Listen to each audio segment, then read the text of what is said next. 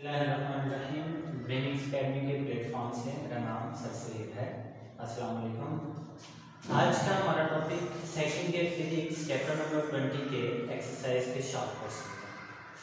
First question ہے Bohr کی جو تھیوری ہے اس میں بہت سارے ازمپشنس ہیں کیا اس کا کوئی ایسا ازمپشن ہے جو کلاسیکل فزکس کو ڈینائی کرتا ہے یا اس کی کنٹراڈکشن کرتا ہے یا اس کے اگینسٹ جاتا ہے تو جو کلاسیکل فزکس ہے، اس کے مطابق جب کوئی الیکٹران کسی نیوکلیس کے گرد گردش کرتا ہے، تو وہ الیکٹرانس ریڈیشنس کو خارج کرتا ہے۔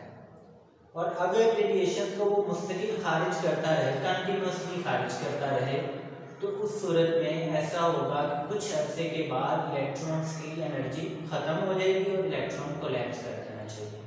جبکہ ریئلٹی میں ایسا کوئی بھی فنومینن دیکھنے کو نہیں بوہر کے مطابق ایسا نہیں ہوتا، بلکہ جب تک الیکٹران ایک ہی آربٹ میں گردش کرتا رہتا ہے، تب تک نہ تو وہ ریڈیشنز خارج کرتا ہے اور نہ ہی ریڈیشنز کو ایبزورب کرتا ہے۔ الیکٹران صرف تبھی ریڈیشنز کو ایمٹ اور ایبزورب کرتا ہے جب وہ ایک آربٹ سے دوسرے آربٹ کی طرف جمپ کرتا ہے۔ یعنی جب الیکٹران ہائر آربٹ سے لوئر آربٹ کی طرف آئے گا، تو وہ ریڈیشنز کو خارج کرے گا، اور جب لوئر آربٹ سے ہائر آربٹ کی طرف آئے گا، تو وہ ریڈیشنز کو ایبزورب کرے گا۔ اب سوال یہ پیدا ہوتا ہے کہ انرجی کس فارم میں ایمٹ اور ایبزورب ہوتی ہے؟ تو انرجی کو بیسیکلی جو انرجی کے بیسک پیکٹس ہیں یا پیکٹس آف انرجی ہیں وہ فوٹونز ہوتے ہیں۔ تو آپ کو پتا ہونا چاہیے انرجی جب بھی ایبزورب ہوتی ہے یا ایمٹ ہوتی ہے، وہ فوٹونز کی شکل میں ہوتی ہے۔ تو جب کوئی فوٹون ایبزورب ہوگا تو الیکٹرون جمپ کرے گا لوئر آربٹ سے ہائر آربٹ کی طرف۔ اور جب کوئی فوٹون ایمٹ ہوگا تو الیکٹرون جمپ کرے گا ہائر آربٹ سے لوئر آربٹ کی طرف۔ تو کوشچن کا جب آپ آنسر لکھیں گے تو اس میں آپ یہی لکھیں گے جی ہاں بوہر کی تھیوری کا جو یہ والا ازمپشن ہے کہ الیکٹرون تب تک ریڈیشن ایمٹ نہیں کرتا، جب تک وہ ایک آربٹ سے دوسرے آربٹ کی طرف جمپ نہیں کرتا، یہ والا جو ازمپشن ہے وہ کلاسیکل فزکس کو کنٹراڈکٹ کرتا ہے۔ دوسرا کوشچن ہے ہمارا کہ لائن اسپیکٹرم کیا ہوتا ہے؟ اور لائن اسپیکٹرم کو ہم ایلیمنٹس کے آئیڈینٹیفیکیشن کے لیے مطلب پہچان کے لیے کیسے استعمال کر سکتے ہیں؟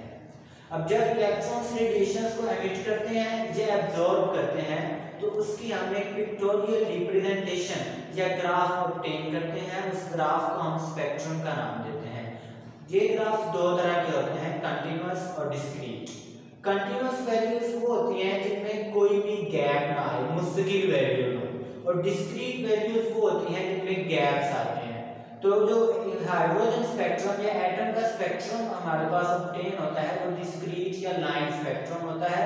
اس کی ریزن یہ ہے کہ ڈیفرنٹ آربٹ سے آتے ہوئے الیکٹرون ڈیفرنٹ طرح کے انرجی ایمٹ کرتے ہیں۔ تو ہر ایلیمنٹ کے لیے انرجی کا اسپیکٹرم بھی الگ الگ آتا ہے۔ تو وہ جو اسپیکٹرم ہمارے پاس obtain ہوتا ہے، اسے ہم لائن اسپیکٹرم کہتے ہیں۔ چونکہ ہر ایلیمنٹ کے لیے انرجی کا اسپیکٹرم الگ الگ آتا ہے، تو اس کا مطلب ہے ہر ایلیمنٹ کے لیے جو جو اسپیکٹرم بنے گا وہ الگ الگ بنے گا تو اگر کوئی ایسا ایلیمنٹ ہمارے پاس موجود ہے، جس کا اسپیکٹرم ہمیں جس کا ہمیں نہیں پتا کہ یہ کون سا ایلیمنٹ ہے، اس کا اسپیکٹرم obtain کر کے تو آلریڈی obtained جو ہمارے پاس اسپیکٹرم موجود ہوں گے، ان کے ساتھ اب آپ اس کو کمپیئر کریں گے تو ہمیں پتا چل جائے گا کہ یہ کون سا ایلیمنٹ ہے۔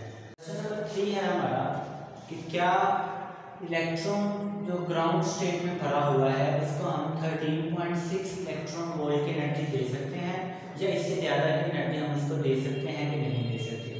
جی ہاں ہم دونوں انرجیز گراؤنڈ اسٹیٹ الیکٹرون کو دے سکتے ہیں۔ کسی بھی گراؤنڈ اسٹیٹ الیکٹرون کی زیادہ سے زیادہ energy minus thirteen point six electron volt ہوتی ہے۔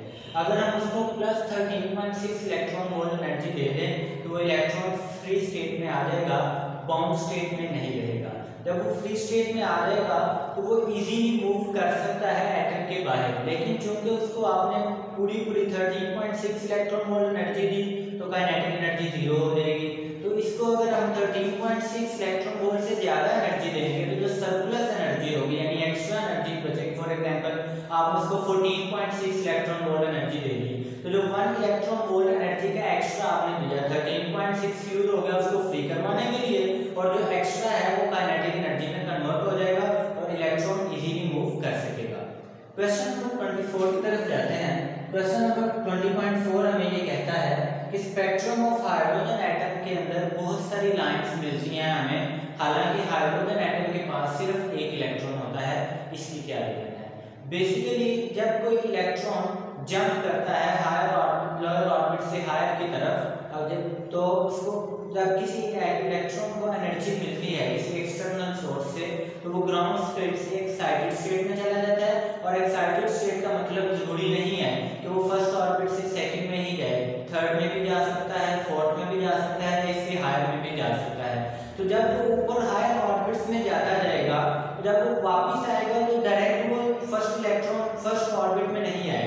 بلکہ واپس آتے ہوئے وہ اپنے ڈیفرنٹ لیول سے ہوتا ہوا ہے۔ فار ایگزامپل آپ یہاں سے الیکٹرون نے جمپ کیا تھرڈ آربٹ پر، تو تھرڈ سے سیکنڈ میں اور سیکنڈ سے پھر وہ فرسٹ میں آئے گا۔ تو جب یہ ڈیفرنٹ آربٹس پہ جمپ کرے گا، تو ڈیفرنٹ لائن ہمارے پاس آ جائیں گی۔ اس وجہ سے ہارمونل اسپیکٹرم کے دوران جو ہارمونل اسپیکٹرم ہم کنٹین کرتے ہیں، اس میں بہت ساری لائنز اپیئر ہو جاتی ہیں۔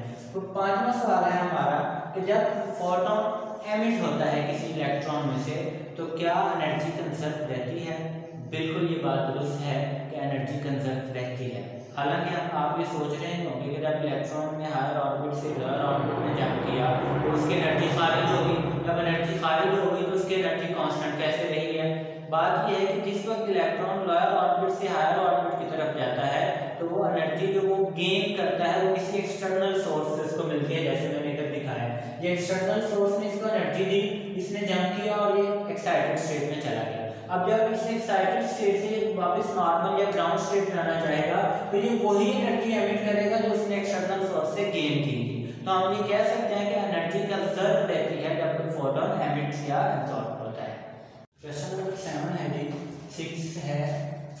a glowing gas can give only certain wave کہ جب کوئی لائٹ جو ہے وہ چمک رہی ہوتی ہے تو اس میں سے صرف مخصوص ویو لینس والی لائٹس ہی اپیئر ہوتی ہے۔ جب بھی ہمیں کوئی کلر نظر آتا ہے تو ہر کلر کی الگ الگ ویو لینتھ ہوتی ہے اور جو مخصوص ویو لینتھ ہے ہر کلر اسی ویو لینتھ پہ ہی ہمیں نظر آتا ہے۔ فار ایگزامپل سب سے کم ویو لینتھ والا جو کلر ہے وہ بلو لائٹ ہے۔ تو جو جب بھی کوئی گیس گلو کر رہی ہے یا چمک رہی ہے تو اس میں سے صرف مخصوص یا سرٹن ویو لینتھ ہی کیوں نظر آ تو ہر گیس ڈفرینٹ ایلیمنٹس پر مشتمل ہے اور ہر ایلیمنٹس کے انرجی لیولز ڈفرینٹ ہوتے ہیں۔ جب انرجی لیولز ڈفرینٹ ہیں تو اس کے الیکٹرون جو ہیں وہ مخصوص لیولز پر ہی جمپ کریں گے جو اس ایلیمنٹ کے مطابق ہوں گے۔ تو اس لیے ہر سرٹن گیس کے سرٹن ویولنس والی لائٹ ہی اس میں سے ایمٹ ہوتی ہے۔ کوشچن نمبر سیون ہے ہمارا کہ ایکسائٹڈ ایٹم سے کیا ہوگا ایکسائٹڈ ایٹم کیا ہوتے ہیں؟ جب ہم کسی ایٹم کو کسی ایکسٹرنل سورس سے انرجی پرووائڈ کرتے ہیں یا اس کے اوپر فوٹون کو بات کرتے ہیں، تو اس کے الیکٹران نارمل اسٹیٹ میں نہیں رہتے بلکہ وہ نارمل اسٹیٹ سے جمپ کر کے ایکسائٹیڈ اسٹیٹ کی طرف چلے جاتے ہیں۔ تو اس صورت میں یعنی وہ ایٹم جس کو کوئی ایکسٹرنل انرجی ملی ہو، وہ ایکسائٹیڈ ایٹم کہلاتا ہے۔